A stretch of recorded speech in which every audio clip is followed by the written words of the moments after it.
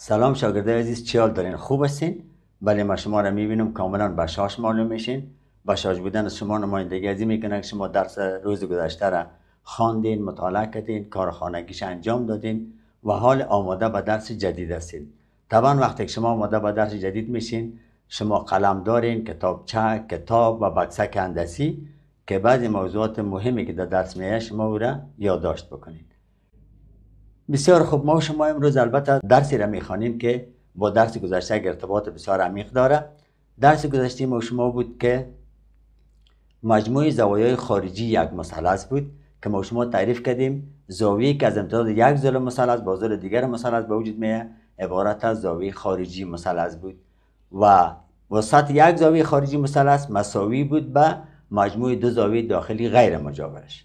این درس روز گذشته ما شما بود. درس امروز که ما شما البته می‌خوانیم عنوانش است رابطه بین اضلاع یک مثلث است. اهدافی که در این درس ما شما باید دنبال بکنیم عبارت از دو جز داره. یکی شما باید مجموع دو زل یک مثلث از زل سیوم بزرگتر از باید بفهمین و در صورتی که مجموع دو زل یک مثلث از زل سیومی بزرگتر نباشه ما نمی‌تونیم مثلث البته تشکیل بکنیم. اینمی اهدافی بود است که ما شما تا آخر درس البته را دنبال می‌کنیم. به خاطر که هدف ما شما را به دست بیاریم ما شما اول یک فعالیت انجام میتیم در این فعالیت ما شما دو سوال داریم. شاگرده عزیز ببینید سوال اول مثلثی رسم کنید که اعضایان به ترتیب 18 سانتی متر 14 سانتی متر و 12 سانتی متر باشه. سوال دوم مثلثی رسم کنید که اعضایان به ترتیب 25 سانتی متر 13 سانتی متر و 10 سانتی متر باشد با کدام یک از دو ماده فوق می توانیم مثلث تشکیل دهیم؟ و با کدام یک آن نمی توانیم مثلث را تشکیل دهیم؟ نتیجه فعالیت فوق را بیان کنید. خب شاگردان ببینید دو سوالی که طرح شده هر دو سوال ما برای تخته بر شما کار می‌کنم. ببینید جز اول سوال ما شما است که مثلثی را ما شما رسم می‌کنیم که از به ترتیب 18 سانتی 14 سانتی و 12 سانتی باشه.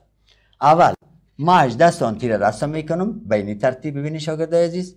16 17 18 سانتی.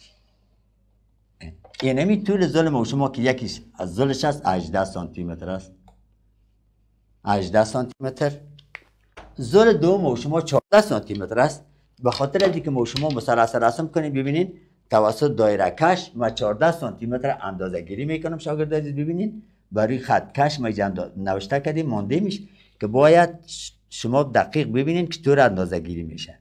ببینید این ای 14 سانتی متر شد. از انجام خط از این قسمت طوری که در وسط قرار بگیره به این ترتیب یک خط 14 سانتی متر به این ترتیب قوس می‌زنیم. ببینیم وقتی که قوس زدیم زل دیگه ما شما 12 سانتی متر است. وقتی که 12 سانتی متر است این اندازه می‌کنم با 12 سانتی متر به این شکل. اینه این 12 سانتی متر از انجام دیگه خط قوس می‌زنم شاگرد ببینید طوری که بسیار دقیق باید رسم شوه و اینی شکل. می‌بینیم نقطه تقاطعی از این خطوط متواقع را پاک می‌کنم. اینمی نقطه تقاطعی دو قوس است. میشه تیر ما دایرام رسم کنم به خاطر یک شبکه خطوط زیاد نشه فقط از قوس استفاده کردم. پس یا را با هم وصل می‌کنم. همین نقطه تقاطع را با دو زرزیب خط و دو انجامش رسم می‌کنم. ببینید شاگرد عزیز. این این خطی که ما شما رسم کردیم چند سانتی متر بود؟ 14 سانتی متر و این به انجام از رسم می‌کنم. این خطی که رسم کردیم چند سانتی متر بود شاگرده عزیز؟ 12 سانتی متر بسیار خوب. ببینید شاگرده عزیز در این مثلث که ما رسم کردم یعنی تقاطع بود یعنی با این از مثلث ما شما می‌تونیم یک مثلث رسم کنیم. می‌بینیم حال سوال دومشه. مثلثی رسم می‌کنیم که از به ترتیب 25 سانتی 13 سانتی و 10 سانتی متر باشه. این رسم می‌کنیم. ببینین ما زل 25 سانتی را به این ترتیب در پایان از رسم می‌کنم به این شکل. اول زل 25 سانتی 22 23 24 25 این از تا انجام از این زل ما شما شد 25 سانتی متر. بسیار خوب. حال باز دایره کشم می‌گیرم.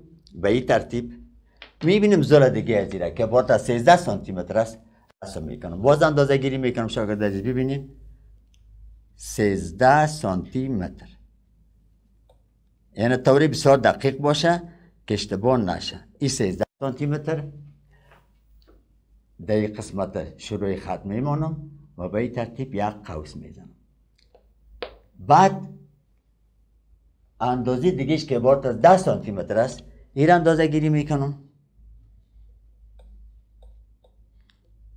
خب شاگرداش بسیار دقیق باشه. این ده سانتی این طول عبارت از ده سانتی است. از انجام خط دیگه شاگرداش تو میمانم قوس می‌زنم. ببینین شما چی نماشیده می‌کنه آیا این دو قوس که دیگه خود قطع می‌کنه نه خیر. پس وقتی که قطع نمی‌کنه ما با این ظلم مثال دوم که مثلثی که دارای اعضای 25 سانتی 13 و 10 سانتی باشه ما شما نمی‌تونیم یک مثلث ایجاد کنیم یا یک مثلث تشکیل بدیم. خب داخل گفته بودیم نتیجه زیر شما نوشته کنیم ببینید من نوشته می‌کنم نتیجه. شما شاگردات چی برداشت می‌کنین نتیجه باید چی باشه؟ طبیعی شما یک مرتبه درس قبل از که به این مطالعه می‌کنین شما می‌فهمین نتیجه درس مایی است که مجموع دو زاویه دو زال, دو زال یک مثلث باید ازول سیمی باید بزرگ باشه. مجموع دو زال یک مثلث باید ازول سیمی بزرگتر باشه. ببینید ما در اینجا یک مثلث رسم می‌کنم برای شما مکمل نتیجه نوشته می‌کنم باید مجموع دو زل یک مثلث از زل سیومی آن بزرگتر باشد. در ما بر شما ببین یک مثلث رسم می‌کنم مکمل امین نتیجه را نوشته می‌کنم. بالفرض تو یک مثلث داشته باشیم.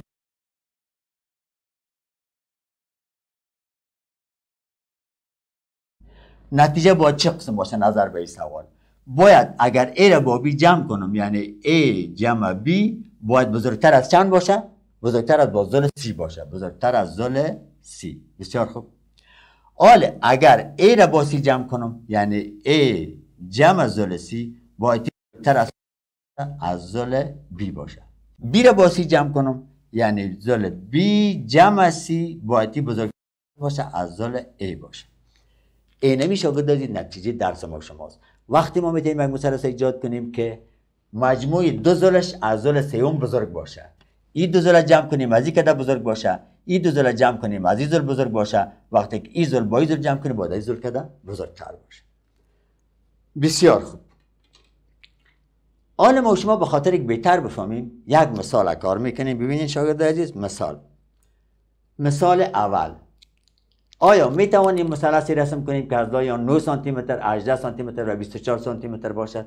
توسط رابطه بین اصلای مثلث معلوم کنید.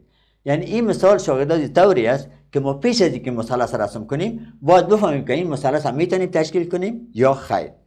به خاطر از اینکه ما این مثال کار کرده باشم این تخته را بر شما پاک می‌سازم. گفته آیا می‌تونیم مثلثی رسم که از لای آن به ترتیب 9 سانتی متر 18 سانتی متر و 24 سانتی متر باشه می‌بینین این مسئله شاگردای ما شما می‌بینیم. بیشتر ما شما در رسم کردن یعنی آموختیم که یک مسئله چه ترتیب رسم می‌کنیم. حال فقط در این مثال گفته مثال کتاب شماست که بدون از اینکه شما مثلث رسم کنین شما یا بگین که ما مثلث رسم کرده می‌تونیم یا نه. طبق رابطه قبلی که بود. ببینید شاگرد عزیز باید نو جمع 18 بزرگ از چند باشه؟ باید بزرگ از 24 باشه. این را جمع می‌کنیم. 9 8 17 حاصل آمد بر یک یک یک دو. 27 بزرگ از چند است؟ 24 سانتی. پس این درست است؟ بعد 18 را با 24 جمع می‌کنم. 18 جمع 24 باید بزرگ از چند باشه؟ باید بزرگ از 9 باشه. جمع می‌کنم. 8 و 4 البته 12 حاصل آمد بر یک یک و دو سه و یک چار چل دو بزرگ از نوز بله یام درست است؟ آخرینش. نو را با 24 جمع می‌کنم. یعنی نو جمع 24 باید بزرگ از چند باشن؟ باید بزرگ از 18 باشن بسیار خوب را جمع می‌کنم. نو چار سیزده حاصل یک یک و دو سه. سی و سه بزرگ از 18 پس یام درست است. بناهن شاگرد از نتیجه با اینمی اعضلا ما می‌تونیم که یک مثلث رسم بکنیم. بسیار خوب. مثال دوم می‌بینیم. مثال دوم. آیا می توانید مثلثی رسم کنید که از لایه 9 سانتی متر 18 سانتی متر و 6 سانتی متر باشد واحداتش هم می‌گیرم با دلیل دیگه واحداتش در مثال 96 سانتی متر به خاطر اینکه ما شما بتونیم به سادگی کار خود انجام بدیم. می‌بینید شاگردان با این مثلث می‌بینیم طبق از راهنمودی که ما شما قبلا خواندیم. اول این دو ضلع جمع می‌کنم یعنی 9 و 18 باید 9 جمع 18 بزرگ از چند باشه؟ بزرگ از 6 باشه. 9 و 18 حاصل یک یک و یک دو. 27 بزرگ از 6 است درست. این جزء ما درست است؟ جزء دوم می‌بینیم. 18 را با 6 جمع می‌کنیم. 18 جمع 6 باید بزرگ از چند باشه؟ باید بزرگ از 9 باشه. بسیار خوب. جمع می‌کنیم. 8 6 14 حاصل آمد بر یک یک یک دو. 24 بزرگ از 9 این جزء ما درست است. حالا می می‌رسیم سر جزء آخریش. یعنی 9 را با 6 جمع کنم. 9 جمع 6 باید بزرگ از چند باشه؟ باید بزرگ از 18 باشه. 9 و 6 ما 15 میشه. شما که 15 کوچک از 18 است.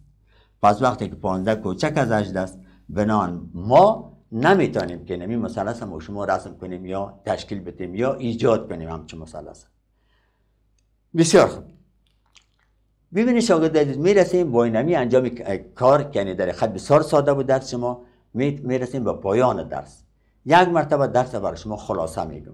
ببینید ما شما عنوان درس ما بود رابطه بین اجزای یک مثلث. گفتیم که زمانی ما شما می‌تونیم یک مثلث ایجاد کنیم یا تشکیل کنیم یا ترسیم کنیم که مجموع دو زلش از زل سیمی باید بزرگتر باشه. هرگاه خلاف از این باشه در صورت ما شما مثلث تشکیل داده نمی‌تونیم مثل که ما شما در این مثالا کار کردیم. بسیار خوب. حالا می‌رسیم. به خاطر اینکه شما تمرین بیشتر انجام داده باشین کار بیشتر کرده باشین کار خانگی رو بر شما ما حساب پیشکش می‌کنه. ببینید در کار خانگی شما سه سوال بر شما طرح کردیم. سوال اول آیا می توان مثلثی رسم کرد که دو زلیان 5 سانتی متر و 7 سانتی متر و زل سیمیان به اندازه نصف مجموع دو زل دیگر باشد؟ این را شما محاسبه کنین بگوین دوم چرا با سه قطع خط یک قطع خط از مجموع دو قطع خط دیگر بزرگتر باشد؟ نمی‌توان یک مثلث رسم کرد. این هم شما حل کنین. و آخرین سوال با اندازه گیری اضلاع مثلث های زیر رابطه بین اضلاع مثلث را بررسی کنید. ببینید دوجه بر شما سه مثلث دادیم سه مثلث و دو مثلث ها شما ببینید که مطابق سوال آیا ما می‌تونیم که رابطه بین اضلاع مثلث بررسی کنیم که چه قسم هستن؟ آیا این مثلث ها به چه شیوه هستن؟ پیش خود یادداشت می‌کنید این بود درس امروز ما شاگرد عزیز. از توجهتان یک جان تشکر. امید است که درس شما فرا گرفته باشین کار خانگی را شما انجام داده باشین. تا درس آینده من خدمت شما حاضر میشم اگه شما را به پاک مسپارم